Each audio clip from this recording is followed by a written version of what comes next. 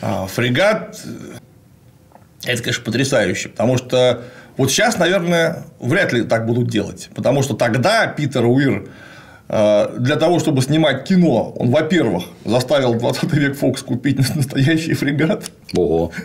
То есть ХМС Роуз такой был. Э, в общем, очень точная копия реконструк... Э, реконструкция, понятное дело, а, подлинного фрегата конца 18 начала 19 века, которая там для разных парусных всяких штук э, использовалась. Вот его купили за полтора миллиона. Сейчас бы это, конечно, стоило сильно дороже. Ну и тогда полтора миллиона, прямо скажем, деньги не маленькие. Да. Вот. И он реально ходил под пар. Его там переделал, потому что это был не совсем фрегат. Это был а, безранговое судно или так называемый пост-шип. Почтовый? Ну, так называется. Он не то чтобы для почты, он тоже, да, военный, но он а, ниже всех рангов, потому что к тому времени была система рангов, 6 рангов было у кораблей. Начиная там самых маленьких 24-28 пушек, заканчивая с антисимой Тринидадом первого ранга, или там Виктория, что-нибудь такое. И вот первые два ранга это были фрегаты, 6 5 а с четвертого начинались линейные корабли. А вот пост шип это ниже. Угу. То есть его тоже могли использовать запросто совершенно для боевых целей, для рейдерства в первую очередь, для каперства. Э, в силу того, что они были довольно мореходные, то есть там был очень небольшой экипаж, то есть можно было при этом много взять э, припасов. Вот, например, э, расследовать бунт на корабле Баунти как раз ездил такой пост-шип, посмотреть, что там они затеяли. Есть вот. хорошая книжка наш комрад московский вот такой опус написал про это, очень интересно, крайне да. познавательно, про баунти вообще. Да, вот, ну, в общем, э, сделали вот эту штуку, ее прямо прям целиком всю переделали, перекрасили, перестроили так, чтобы он стал похож на вполне настоящий ХМС Сюрприз, который mm-hmm. воевал в начале 19 века. Причем его в свое время отняли у французов. Это было французское судно, которое англичане взяли в качестве приза.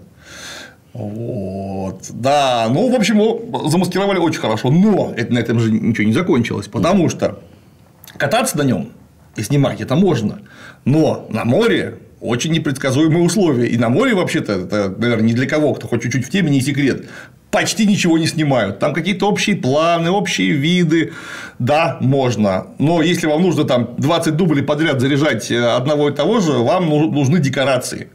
И вот декорации построили там же, где снимали Титаник, в Мексике, в очень хорошем кинобассейне в огромном.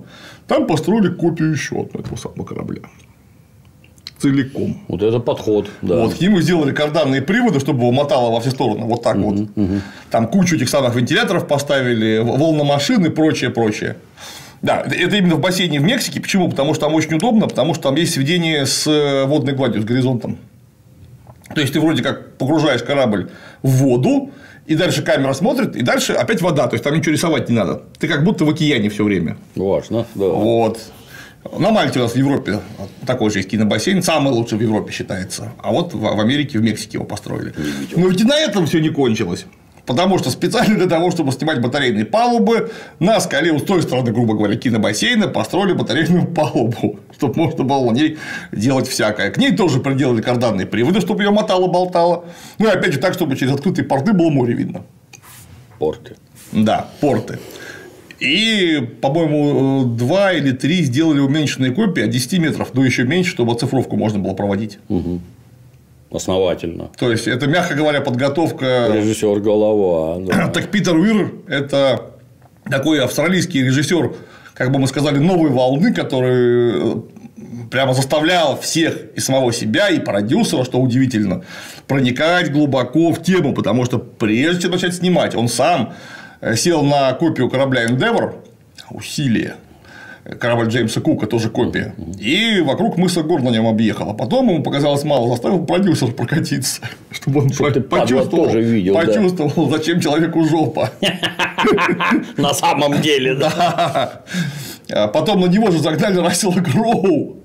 И опять гоняли. Да, ну а Рассел Кроу проникся страшно совершенно. Он, во-первых, поучаствовал в переписывании сценария чуть-чуть. Про сценарий сейчас скажем тоже немножко. Его там заставили учиться лазать по всем этим вантам.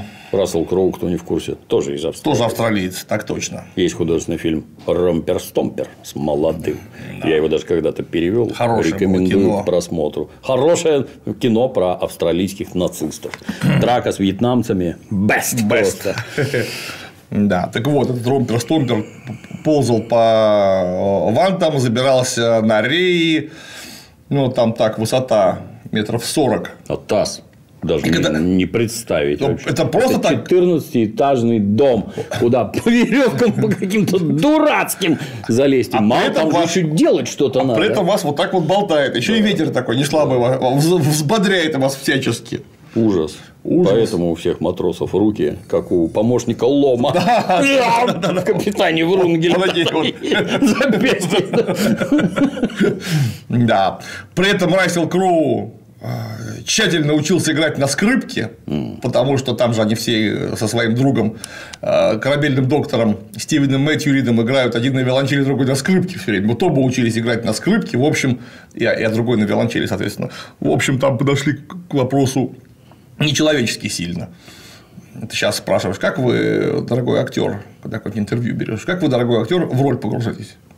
А зачем мне погружаться? Куда? Я и так уже нормально. Да, да, да. Это мой любимый пример, как Роберту Де Ниро не впадло встречаться с уголовниками и обсуждать, как там уголовники себя ведут, а потом получается художественный фильм «Схватка», например. А Серега Безруков зачем с какими-то И так бандитами? хорошо. Я и так здесь вырос. И получается бригада. Да. Словом, поразительная подготовка. Снято все, конечно, это по двум романам Патрика О'Брайена, который написал больше 20 томов о капитане Джеки Обри и его друге корабельном докторе Стивене Мэтьюрине. Это прям такая э, в англоязычной публике одна из топовых прямо бест военно-морских эпопей. И все 20 штук хорошие. Я, честно говоря, читал только Мастер и Командер в свое время. Достаточно. Еще до того, как я знал, что такой фильм есть, я читал Мастер и Командер. А еще есть Far Side of the World, как это ни странно. Их вот из двух слепили вместе. Причем тут получилось нехорошо, потому что в исходном романе все происходит в 1812-15 году. И о, по- по-моему, даже конкретно в 15 если не ошибаюсь, то есть не в пятом. Конкретно очередная англо-американская война. И Джеймс Обри там плющит американский фрегат Норфолк. А так как это все на американскую публику рассчитывалось, то нельзя, чтобы были американцы совсем. Не, нет, нет, нет, нет, нет. Поэтому там возникает фрегат французских ВМС Ахерон, который отправлен к берегам Бразилии э, э, жечь, губить, агрессию, торговлю китобойцев. Пландер. Да, да, вот. А ХМС, точнее, кстати, ХМС, какой там ХМС? Французский, французский фрегат Ахерон. Когда я его увидел, я прямо закричал от восторга, потому что его полностью цифровым образом срисовали с фрегата Constitution американского, который до сих пор в строю. Это у них э, вымпел номер один. Ничего себе. 1700 какого 89 что ли года рождения фрегат. Вот у них до сих пор на, на- на плаву находится. Однако. Вот. Его полностью оттуда срисовали. Ну и там по легенде, э, по легенде фильма это очень здорово, что этот фрегат французский был построен в Бостоне. Это именно американский фрегат. Э, Совсем новый, совершенно не как все хороший. Замечательный. Замечательный фрегат. А, ну и там сразу видишь, да, он, но, потому что он с Constitution просто скопирован.